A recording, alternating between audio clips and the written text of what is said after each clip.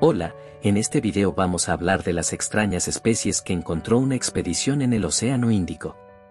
El Océano Índico es uno de los más grandes y profundos del mundo, pero también uno de los menos explorados. Por eso, un grupo de científicos de Australia se embarcó en una aventura para mapear y estudiar la biodiversidad de sus fondos marinos, especialmente alrededor de las islas Cocos y Navidad, que se encuentran a unos 2.500 kilómetros de la costa occidental de Australia. Lo que encontraron fue un mundo mágico y misterioso, lleno de criaturas raras y únicas, que se han adaptado a vivir en condiciones extremas de oscuridad, presión y escasez de alimento. Algunas de estas especies son tan extrañas que parecen sacadas de una película de ciencia ficción o de una pesadilla.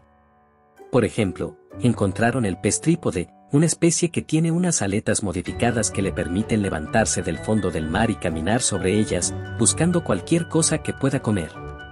También encontraron el pez murciélago, que tiene una forma redonda y blanda, como una albóndiga, y que usa un señuelo luminoso en su hocico para atraer a sus presas.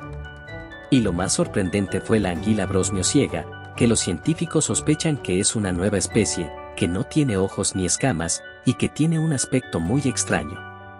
Estas son solo algunas de las maravillas que se esconden en las profundidades del Océano Índico, y que nos muestran la increíble diversidad y adaptación de la vida marina. Hasta aquí el video amigos, no olvides darle me gusta, compartirlo y suscribirte para más contenido interesante. Hasta la próxima.